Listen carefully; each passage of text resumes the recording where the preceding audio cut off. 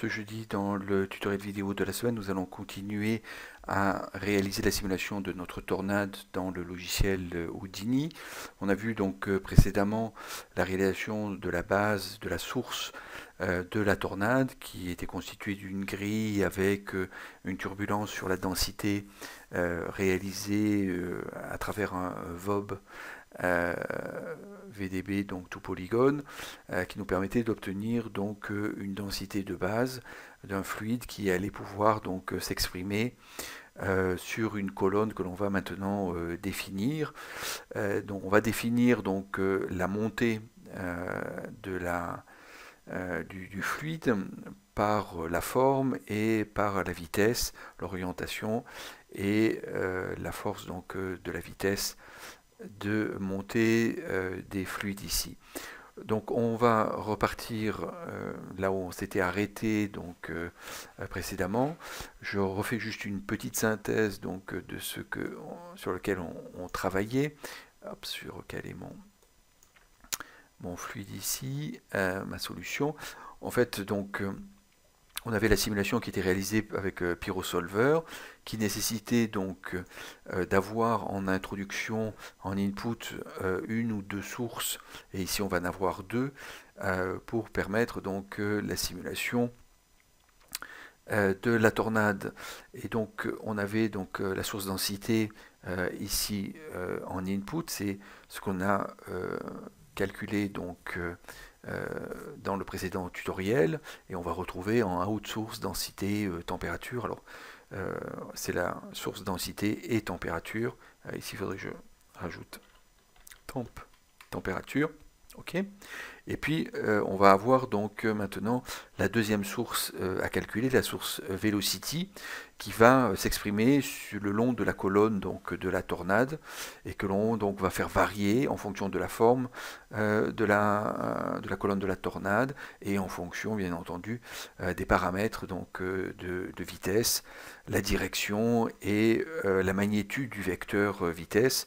On va s'appuyer pour ça sur les normales donc euh, d'un objet polygonal que l'on va euh, fabriquer, qui vont nous servir de référence pour transformer euh, les longueurs des normales et l'orientation des normales en vecteurs de, vitesse. Ok. Donc on revient ici sur le géo et on va donc travailler sur la deuxième partie ici euh, du pipeline. Euh, ici, donc, on a la première partie. Alors là, juste, il y a des points euh, d'exclamation pour arrêt de, calcul, on le relancera, c'est pas très grave. et donc on avait la grille, on a, expliqué ça, et on a la haute source densité de température ici. Ok. Et puis on va avoir donc euh, maintenant la construction, donc deuxième pipeline, qui va démarrer avec une line ici, et euh, qui va nous donner donc euh, la fameuse colonne que l'on veut construire. De 1, on va récupérer la forme, 2, on va récupérer des informations donc de vecteurs vitesse, encore une fois, qui vont être calculés à partir du vecteur normal sur chaque point de la surface. Donc on a ici une line que l'on a créée, donc euh, on est venu créer donc euh, une line, draw line, euh, draw curve, draw line, donc différents moyens. Ici elle est droite, ce qui ne nous empêchera pas éventuellement, on, a vu qu'on avait une colonne droite montée, ça empêchera pas ici de éventuellement de, l'animer et de la tordre. on a le, ici le, le resample qu'on met en place pour venir augmenter le nombre de points, euh, de segments ici, euh, plus précisément, qui va permettre, bien entendu, d'augmenter la définition ensuite euh, de la réalisation polygonale que l'on va faire à partir donc de, ce, de cette line ici. Donc line ressemble. ici, on a donc mis en place un attribut VOP. cet attribut VOP, alors je ne remontre pas le chaque fois euh, les nodes, euh, comment on va venir euh, les chercher, attribut de VOP, ici où on tape bien entendu attribut et on aura attribut de VOP. ici, on a le, on l'a renommé PScale. Pourquoi? Parce que on va venir donc dans ce VixBuilder travailler donc Donc les éléments de base, c'est ici, donc les deux éléments de base, c'est géométrie, VOP global et puis géométrie VOP output euh, ici et on a donc ces deux éléments. Alors on ne va pas les utiliser cette fois-ci parce que le paramétrage qui nous intéresse ne se trouve pas dans les paramètres ici pPoint V, euh, Force CD, euh, Color et N normal pour l'instant. ce que l'on a besoin donc c'est de cette variable pscale ici que l'on va donc venir construire ici à partir d'un ensemble donc, euh, de nodes, à partir donc du paramètre curve U.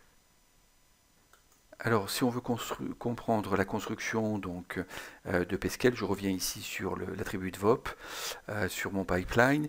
il faut aller un peu plus loin donc, dans la construction, on va la, décrire bien entendu, aller jusqu'au sweep ici, qui permet de le node qui permet de dessiner donc euh, la forme, de construire la forme euh, ici donc euh, polygonale à partir donc de la courbe que l'on a ici définie en haut à partir d'un cycle ici. Donc on prend un cycle, on vient le connecter et on vient connecter le pipeline ici et voilà le résultat qu'on obtient ici. Alors ici j'ai enclenché les, les normales donc ça c'est les points des sommets et puis on va rajouter les normales ici. On va voir pourquoi euh, les normales ne sont plus euh, à la normale des points et sont tangents aux points euh, ici. Mais on voit le résultat, c'est à travers donc polyframe et point au angle ici qu'on obtient ce résultat là et on va voir pourquoi.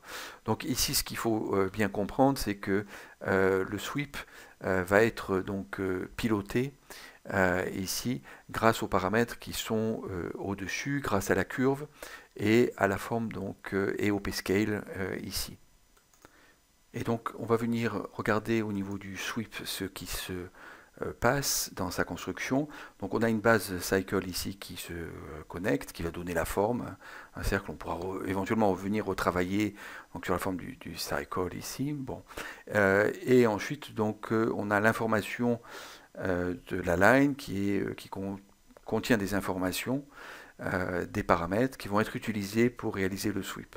Alors, on a deux solutions principales, on a d'autres paramètres, mais principalement, on a ici donc le transform using attribute. Si on le décoche ici, bien on va créer donc à partir du cycle un tube relativement classique ici, puisque il va être de de circonférence euh, uniforme sur toute la longueur, voir le scale, le twist et le roll ici, sur lequel on, pourra jouer. Et donc on a ces trois paramètres scale, twist et roll euh, qui sont euh, à définir ici et sur lequel on pourrait venir justement travailler en termes de, variation éventuellement.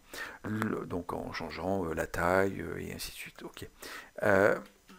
L'avantage d'utiliser donc le transform euh, using attribute, comme euh, quand on reste sur ce paramètre, le, le petit, euh, le petit help nous, nous donne, il nous dit qu'il va utiliser donc les attributs de pscale à la place du scale, justement, notamment pour définir la largeur donc en termes de scale, du, de l'extrusion qui est réalisée à partir de la line et avec le cycle. Donc ça, ça nous intéresse bien entendu. Et donc on va assigner un p-scale, justement, une valeur de p-scale. Alors cette valeur, euh, elle n'est pas choisie au hasard, elle n'est pas nommée et on n'a pas le, choix dans une liste de, variables. Euh, ce qu'il faut faire, c'est se référer à la documentation pour voir quels sont les paramètres et lire les différentes euh, utilisations des nodes, comme le node suite, comme je viens de le faire, euh, pour savoir quels paramètres sont utilisés par rapport à tel sous-objet, notamment les points ici, qui vont donc avoir comme paramètre un p-scale, paramètre donc d'échelle ici, et ce paramètre s'écrit p petit p ici euh, scale de cette manière-là. Et il faut respecter euh, ici cette écriture pour pouvoir euh, que Houdini prenne en compte ce paramètre dans le, pipeline. Donc on va venir ici donc double cliquer et on va venir donc utiliser un paramètre en entrée bind. Donc on crée en fait, quand on n'a pas les paramètres ici en géométrie qui sont prédéfinis, géométrie VOB, global ici. ce qu'on va faire, c'est qu'on va venir donc créer un bind. Donc on va avoir deux types de bind, un bind en entrée et un bind export qui va permettre de rentrer des paramètres qui ne sont pas listés ici. Et donc notamment un des paramètres qui n'est pas listé, c'est par rapport à la line, c'est la curve U. Et ici, c'est le paramètre de curve U qui varie euh, entre 0 et 1 sur l'ensemble de, la ligne. Et sur cette euh, valeur-là ici, curve U, on va euh, venir donc mettre une rampe. Donc on crée une rampe de, manière classique ici. Et on va venir, donc bouton dans la souris, rampe, voilà, on prend rampe parameters ici, ok, voilà, c'est celle-ci, voilà, ramp 2, on l'a ici. OK. Euh, et on la met donc euh, en mode euh, ici spline ramp, on a RGB color ramp et spline ramp.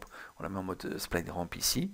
Et puis on va venir donc multiplier, mettre un multiply avec une valeur ici qui sera la force du, weight, la force de, donc de, globalement euh, de la largeur, je dirais, de, euh, du tube euh, servant donc de modèle à la tornade, input 2 et input 1 ici c'est la rampe et on va sortir donc avec un blind export input avec une valeur qu'on va appeler donc on va nommer pscale ici, ok float. Voilà pour les, ce pipeline ici, cette construction donc dans le VIX Builder. Euh, on va euh, pouvoir donc euh, utiliser ça, c'est-à-dire qu'on va sortir une valeur de pscale. la rampe, elle, en parameters, va se retrouver donc en fait comme on l'a vu dans le précédent tutoriel, sur le paramètre extérieur. Donc l'attribut de VOB, le node attribut de VOB, va avoir comme paramètre la rampe que l'on a rentrée. En général, c'est ça l'intérêt aussi de, de la rampe au-delà du fait qu'on a une variation sur une certaine valeur, euh, ici la valeur de, U, eh bien euh, on a donc euh, ici la rampe à l'extérieur et avec l'autre paramètre, paramètre que j'ai appelé ici scale puissance, donc la force ici, générale, c'est l'input 2. Alors je rappelle juste à titre d'information que ici je suis venu tirer donc le paramètre en faisant bouton droit la souris, Vox option, euh, create euh, input paramètre, ok, create euh, input paramètre ici, ok, ce qui fait que le paramètre vient à l'extérieur et on le retrouve ici, donc la puissance, si je mets 1, c'est multiplié par 1 et ainsi de suite. si je mets 2 ou 3, 2.5 par exemple pour changer, voilà. ici, et puis on va avoir donc la possibilité ensuite de changer la forme de la, euh, de, la, de la courbe ici, voilà. Ok. Ok. Et ça va nous donner donc une simulation euh, différente, euh, ici, selon ce que l'on veut obtenir, bien entendu. Alors on n'obtiendra pas forcément cette forme de, de, tornade ici, mais ça sera le champ, il faut plutôt le voir comme un champ de vitesse qui va être défini grâce donc à euh, la forme, ici, on va avoir un champ donc, qui sera réduit, par exemple, dans une certaine, hauteur. Hein. Euh, et à l'extérieur, on n'aura pas donc euh, de paramétrage de la velocity. Donc, les fluides vont être lâchés librement s'ils sont sur la périphérie extérieure, puis éventuellement repris par une forme un peu plus large, et ainsi de suite. Ok, donc on réglera, on reviendra éventuellement régler donc ici la forme selon ce que l'on veut faire c'est cette rampe-là est un des paramètres de variation euh, de la forme de, la rampe, bien entendu. Ok. Euh, donc on a le, p-scale, ensuite on a le polyframe euh, ici. Donc là je suis sur le visuel, visuellement je suis sur le sweep, donc je vois le résultat de, la, chaîne ici. Le polyframe, je le rajoute, qu'est-ce qu'il fait comme node? En fait, il va modifier, alors il ne fait pas que ça, mais il va modifier ici le, les fameuses euh, tangente normale. Donc euh, par défaut, on est euh, plutôt comme ça. Ça veut dire qu'on a normal, name, n. Ici, c'est la normale, donc on met n pour la normale. Et en fait, ok, on va venir ici donc rentrer le n dans le tangent name. Ça veut dire que la valeur de tangente, ça sera donc la normale. C'est pour ça que les normales sont ici redressées, longent donc la surface. Ce qui nous intéresse plus pour euh, faire que la normale glisse le long de la surface, puisque cette normale va être euh, l'élément donc euh, qui va correspondre à la vitesse sur la surface. Et donc pour faire tournoyer donc, nos fluides sur une sorte de surface, eh bien il faut que les vitesses glissent, enfin les vecteurs vitesse soient sur ces surfaces-là. Ok, donc pour l'instant, tous les vecteurs vitesse, si on peut assimiler ça, les normales qui vont devenir vecteurs vitesse, sont dirigés vers le haut. Là, si on lançait ça, eh bien les fluides euh, montraient directement. Hein, ok, euh, ici, si je mets en mode euh, shading, wireframe ici, on voit qu'à l'intérieur aussi, on a les normales. Elles sont vraiment droites, selon la forme, bien entendu, du, ici, de du, de la colonne. Euh, ok, euh, shading, flat, wire shade, flat shade, voilà. Ok, euh, donc ici on a les normales qui apparaissent. Alors je les fais apparaître ici, hein. Je le répète encore une fois parce que c'est important, il faut les garder visuellement. Ensuite, les normales sont tournées donc ici vers le haut.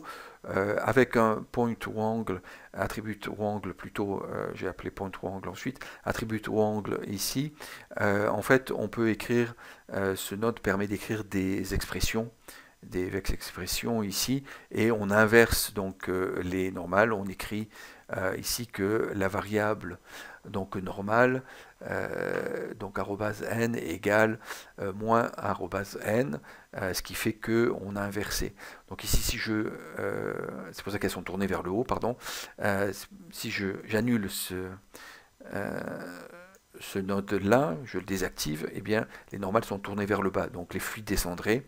Et c'est pour ça que en, en mettant cette expression-là sur la normale, les, les, normales sont tournées vers le haut, c'est pour aller plus rapidement euh, ici positionner les, normales, d'où cet effet-là. Et donc on arrive sur le sweep. Sur le sweep, donc euh, on a euh, la combinaison des deux avec l'entrée des paramètres. Je rappelle qu'à ce moment-là, on clique bien sur Transform using attribute pour obtenir donc une forme plus complexe qu'un simple tube ici. Ok? Et ensuite, qu'est-ce qu'on va faire? Eh bien, on va venir donc euh, le, euh, le remplir avec euh, le polyfile ici, facette, alors on va voir cette partie-là ici, pour retomber donc sur une combinaison une écriture que l'on va décrire qui va nous permettre de vraiment bien paramétrer donc à ce moment-là comme on va le voir comme résultat voilà hop nos, nos normales qui vont aller dans une direction tournoyantes que l'on va pouvoir utiliser donc sur la surface pour faire monter les fluides et en même temps les faire tourner sur la surface. Donc en fait on va passer rapidement sur ces deux éléments qui permettent d'une part le facet de consolider donc euh, euh, la, forme ici smousser donc euh, les, faces et le polyfile donc de fermer éventuellement donc la surface ici euh, pour permettre donc euh, ici de euh, pouvoir avoir un volume fermé et de, de, bonne qualité, je dirais, smoothé en termes polygonal.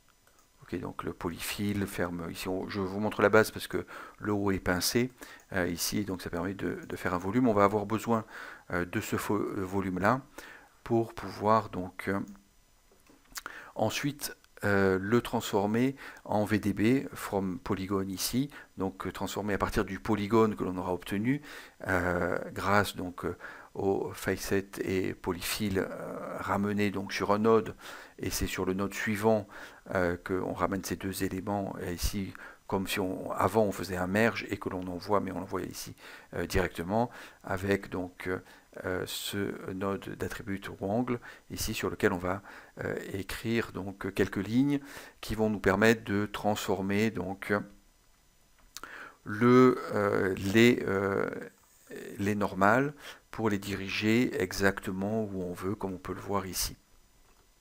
Ok. Encore une fois, le polygone étant fermé grâce à polyfill et au node facet, on va pouvoir donc utiliser ensuite le VDB from polygone ici, faire un, scatter comme on va le voir, une découpe donc ponctuelle de ce volume là pour appliquer sur chaque point euh, résultant du skater en, point euh, ici donc euh, des variables. ces variables vont être attribuées à chaque point ici et on verra donc le résultat, ce qui va nous permettre d'avoir une information dans le volume au droit de, chaque point et on va pouvoir donc à ce moment-là venir donc avoir ces points qui vont être comme des particules et faire un VDB from particle euh, ici avec les informations qu'on a récupérées des points créer donc un volume. C'est ce volume-là comme précédemment dans la source que l'on va donc utiliser dans la haute velocity. Donc c'est un fluide effectivement en source comme précédemment qu'on utilise comme fluide de velocity, de source de velocity. Ok, voilà pour euh, l'explication. Je reviens euh, ici, donc euh, notamment ici sur l'écriture de, ces quelques lignes. ici, on va écrire que, va prendre un, vecteur qu'on va appeler normal et on va le, définir ici. Donc, il sera composé ce vecteur normal de trois points. 1, la normale, et ici donc le pt num qui est le numéro du, point euh, ici, et on va définir deux floats, deux variables, multiplier et euh, blind euh, la direction, on va dire l'orientation, pardon, et ces deux variables vont être définies par deux écritures qui vont apparaître donc à l'extérieur du de de l'attribut angle ici, qui vont être juste en dessous, force multiply et orbit blind, que l'on va pouvoir faire varier. Voilà, hop, ça c'est force multiply, c'est pour la longueur, donc euh, ici euh, de 2.8 par exemple, voilà, pour avoir une belle longueur. Et puis orbit blind va permettre de, voilà, de faire tourner donc, euh, les normales ici.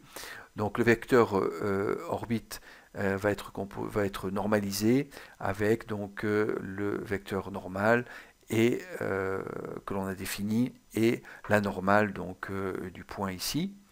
Et ensuite, on va définir la normale comme étant le lerp. Donc la fonction lerp, c'est le mélange avec donc un alpha de deux de deux variables. Ici, on a orbite et normal, et on a le blind qui est donc euh, le, le, mélange, euh, et c'est avec l'orbite blind ici qu'on appelle le blind, qui va pouvoir mélanger entre le vecteur orbite et la normale ici. Et donc la normale avant, elle était donc ici en 1. Quand on est en 1, en fait, eh bien, le lerp, le blind vaut 1, et c'est le euh, n, donc la normale ici, euh, qui prend 100%, euh, et donc on a les normales qui sont droites. À l'inverse, ici, quand l'orbite blind donc vaut 0, c'est le blind vaut 0, c'est l'orbite ici qui prend le, le dessus, et on est donc euh, sur l'horizontale, les normales sont à l'horizontale. Et donc on a la possibilité de pouvoir orienter comme ça, donc euh, ici des euh, deux côtés, de faire tourner donc les normales. Et éventuellement, on pourra utiliser donc des valeurs négatives sur force multiply et orbit blind ici pour obtenir donc ici un résultat dans l'autre sens éventuellement euh, on retournera les normales euh, éventuellement ici de cette façon-là.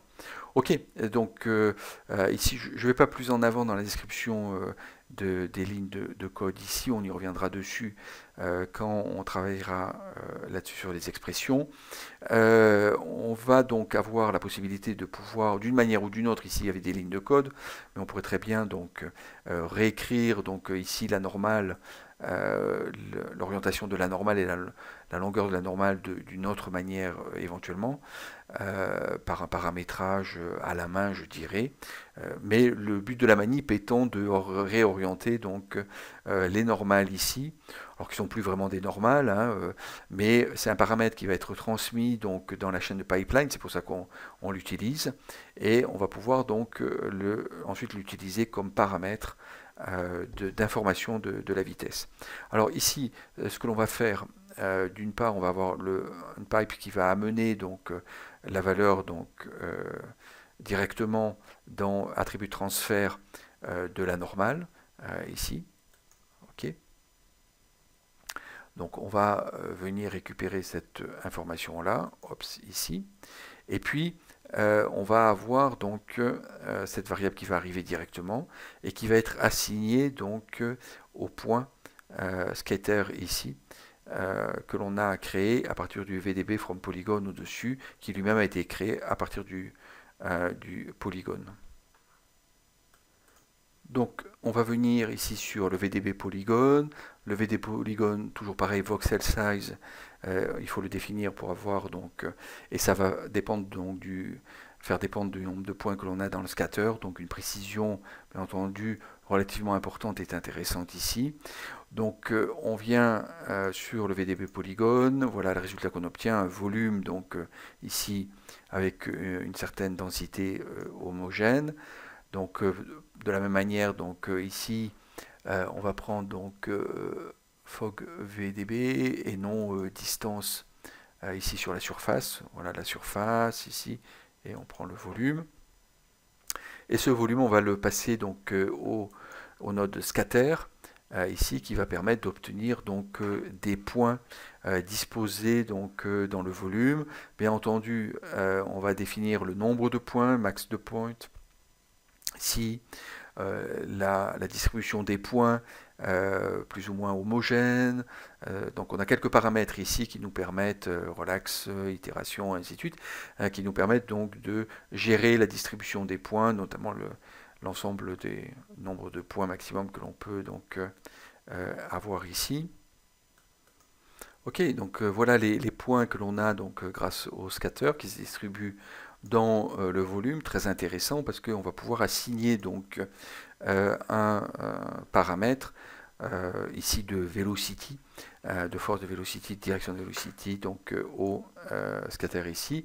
On prend donc l'attribut transfert ici, ok, et on vient donc lui assigner sur les points, on vient assigner donc ici les normales, donc euh, on va avoir des, paramètres, donc euh, des conditions dans lesquelles on distribue euh, ces valeurs donc de normal ici de vecteur normal sur l'ensemble du volume.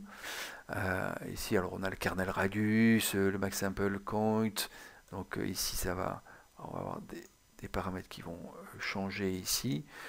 Euh, donc, je ne vais pas rentrer dans les détails donc, de, ces paramètres-là, mais ça permet de changer donc, euh, la distribution ici donc, euh, de, des, des, paramètres. Alors, ce que l'on voit donc vu du dessus, c'est qu'on voit qu'on a bien une rotation ici qui va se mettre en place dans le volume avec une montée vraisemblablement de, de, la vitesse au vu de, des normales ici. OK donc à partir de ce transfert norme, euh, attribut transfert, chaque point donc est dans le volume grâce à l'attribut transfert et récupère une information donc d'un vecteur, toujours qu'on appelle donc euh, normal ici. On vérifie euh, les paramètres que l'on a donc avec l'information.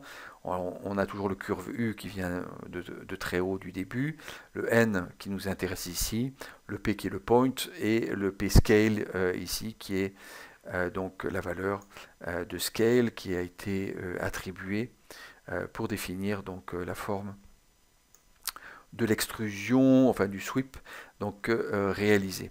Ok, ici ce qu'on va faire, c'est qu'on va mettre en place un attribut de VOP avec un, à l'intérieur un Vex Builder très classique où on va jouer donc sur la position des points ici avec un turb noise, un turbulence noise, position, ce qui permet d'avoir donc pour chaque point une turbulence différente.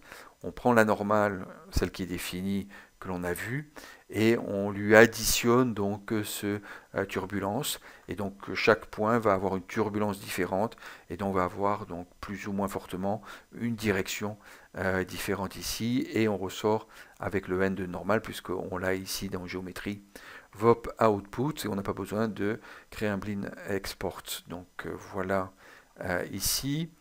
Euh, on a le turbo noise ici, alors on l'aura plus, mais juste pour le remontrer, extrait donc les particules, create input blending ici, on a l'output, mais c'est le input, comme toutes les variables sont sorties, on n'a plus cette fonction là.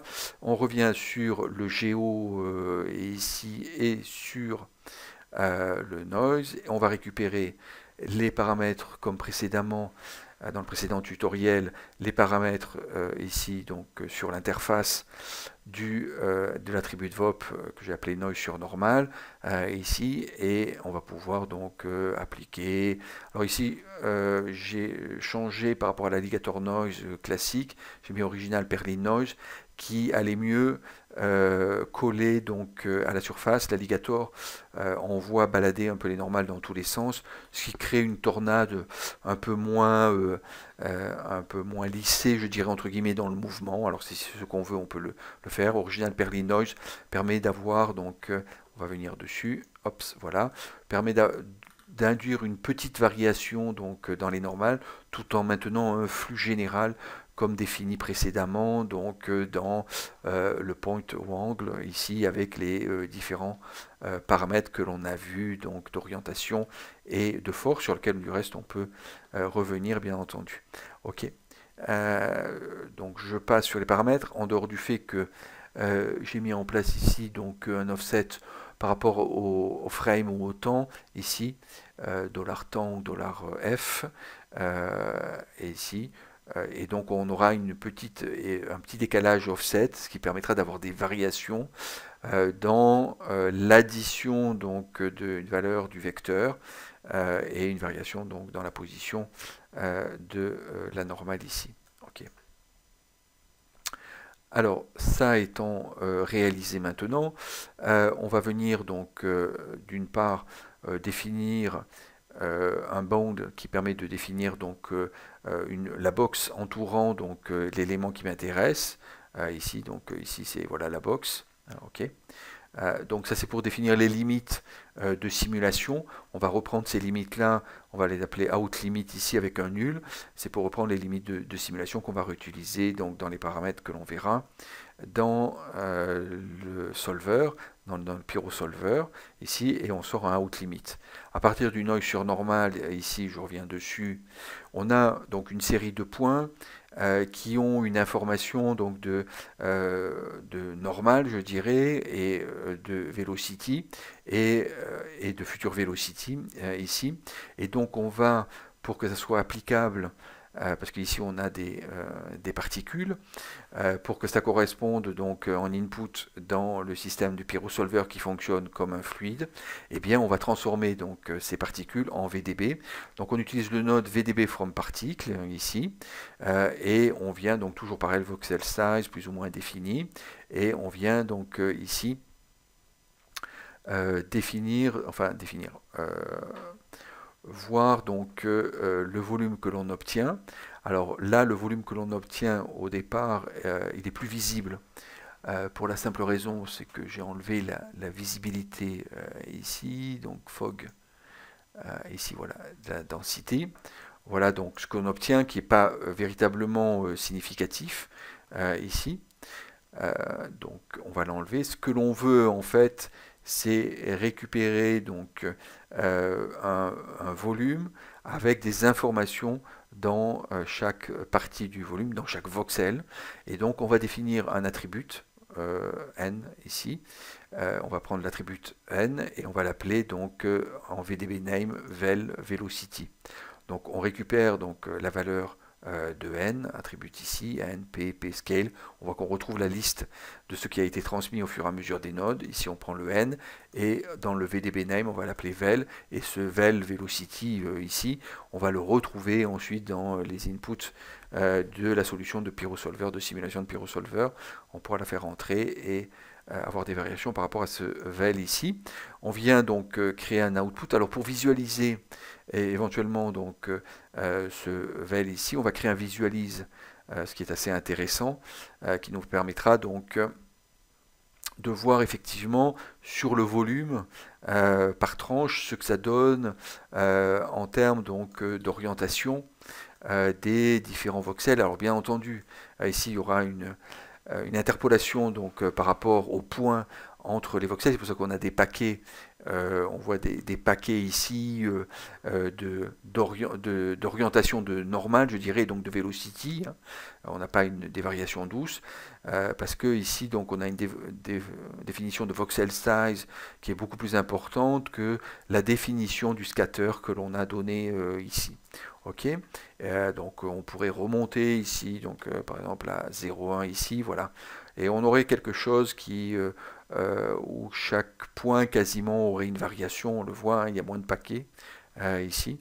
Alors ça serait peut-être suffisant pour la définition éventuellement, ou on peut aller plus loin donc dans la définition ici euh, du volume et du, de chaque voxel, la valeur qu'il a bien entendu. Ok, donc ça nous permet de visualiser. Alors je passe sur le, euh, la visualise. Euh, ici, on permet de visualiser donc euh, quel paramètre Eh bien, name vel. Ici, source groupe, on prend le, vel. Comment on veut le visualiser? Slice parallèle to x plane, y plane dans l'autre sens. Et ici, pour voir donc sur l'autre axe ou sur le dessus. voilà, pour voir que ça tourne bien et qu'on a bien un effet de tourbillon ici. Et puis on a l'offset qui nous permet de nous promener donc euh, sur la tranche euh, ici, euh, voilà, et sur l'autre ici aussi, pour voir l'évolution, voilà, la disparition sur le bord bien sûr du volume, ici, voilà. Et ce qui est important, c'est d'avoir au centre une continuité ici dans les les informations, les caractéristiques de chaque voxel, euh, de telle manière que les fluides euh, soient bien dirigés. Alors on peut laisser des, zones euh, sans information, je dirais, ou peu. À ce moment-là, les fluides se baladeront, utiliseront leur énergie cinétique pour se balader, je dirais entre guillemets, dans la simulation. Mais si on veut vraiment piloter donc les fluides, on a tout intérêt à avoir dans le cœur donc de, du VDB from particle ici, euh, une information continue donc euh, de chaque voxel euh, qui va contenir, donc on le voit ici, donc une information de n normal ou velocity vel maintenant comme on l'appelle. Et donc on fait un output velocity ici qui montre pas grand chose, qui montre rien puisqu'on est à la sortie du VDB from particle, on a enlevé donc la visualisation, puisqu'on n'a pas besoin donc de la densité ici, ce que l'on veut c'est le paramètre, on l'a rajouté ici en cliquant sur plus, je le rappelle. Euh, on a choisi attribut n et vdb name vel euh, ici. On peut le visualiser et on peut le sortir, donc output velocity ici. Ok, donc voilà pour le deuxième euh, pipeline ici. ce que ça va donner en fait, c'est qu'on va venir donc rentrer ces deux informations dans le source en le mixant donc avec un merge ici. Donc le premier source euh, densité euh, temps, on, clique donc sur le node, on cherche un node euh, source volume, donc je, le retape juste pour qu'on le voit bien, hein. source volume, volume source ici, voilà. Et ce source volume ici, eh bien, on va donc chercher un volume à un endroit, soit on va le connecter au-dessus, ici, un volume euh, que l'on a déjà défini. Et à ce moment-là, dans euh, initialise, euh, non, pardon, c'est pas dans initialise, c'est dans le source. Ici, on va venir donc, pardon, on va choisir source smoke ici, fumée, et on va venir donc chercher ici, donc pour venir chercher, c'est, je reviens dessus, je me suis trompé. C'est juste à côté, la petite flèche Shows Operator, et on va choisir justement donc les outs qu'on a préparés. Donc euh, ici les sorties. Ops, on en a trois, donc outsource densité temp, out velocity, et puis plus bas, out euh, limite ici. Donc euh, les trois sont repérables euh, avec leur ah, sauf le cycle ici qui est un rond aussi. C'est des nuls donc on les repère ici et on peut les retrouver pour venir les chercher. D'où ce qui fait que s'ils étaient dans un autre géo, on pourrait quand même venir les, capter ici et les appeler. Donc il n'y a aucun souci dans le fait de laisser le pipeline donc de simulation dynamique dans le même géo ou pas dans un autre géo. Tout est possible à ce niveau-là. Donc on choisit l'opérateur, c'est ça l'avantage. Il est appelé ici, c'est la densité, et de la même manière, on va appeler donc euh, la velocity. Donc euh, sur les paramètres donc de sur volume opération ici en bas, euh, que l'on va apprendre, particle en opération, c'est on n'est pas en mode particle, donc ici c'est source volume. on va venir donc avoir trois paramètres. Euh, donc euh, densité, température, velocity. Source volume ici, donc en termes de densité, on va l'additionner au fur et à mesure. Donc on a différentes possibilités, le multiplier, le diviser, le maximer, maximum, minimum, average, ainsi de suite. Donc ici, classiquement, on va rajouter euh, de la densité au fur et à mesure par l'émetteur. Donc c'est bien une émission que l'on fait donc et de densité et de température ici euh, à partir de la source, on l'a vu dans le tutoriel précédent, add add euh, ici. Et puis la même chose euh, pour la velocity ici, où on va mettre non non ici à volume et température, et velocity, on va prendre pas add mais copie, ça veut dire qu'on veut juste copier donc de la source la velocity à, l'endroit du, du volume, donc mettre une vitesse pour les fluides dans le volume euh, du tube que l'on a créé, pour faire simple, euh, ici, et ne pas additionner, bien entendu, les, vitesses. D'où la différenciation euh, entre les deux sources ici, parce qu'elles viennent de deux pipelines différents et deux méthodologies aussi de volume opération ici. On les merge pour les envoyer en input dans le pyrosolver ici, qui va nous permettre donc, selon les paramètres, d'obtenir donc le résultat ici. Alors, je montre le résultat à travers euh, un cache euh, ici, un file cache. Euh, ok. Voilà, de telle manière que ça soit réalisé rapidement. Hein. on verra dans le prochain tutoriel donc le travail sur la simulation ici, avec notamment le rajout donc, du gaz resize fluide dynamique, les paramètres du smoke object qui sont nécessaires ici pour paramétrer donc euh, le, fluide de type smoke et le pyrosolver ici, l'output classique, euh, ici de sortie. Euh, donc ensuite, restera plus qu'à avoir la sortie ici. J'ai intercalé un file cache de telle manière qu'il calcule la simulation pour pouvoir donc la lire rapidement, voilà, plus facilement quand on se déplace dans le temps bien entendu, hein, comme on le voit ici. On verra comment on le calcule et le matériel ici aussi. Euh, de telle manière de pouvoir ensuite euh, faire un rendu comme on le voit euh, ici dans cet exemple. on utilisera un matériel donc, de type liquide smoke qui nous permettra d'avoir de belles variations ici par rapport à différents paramètres que l'on mettra en place.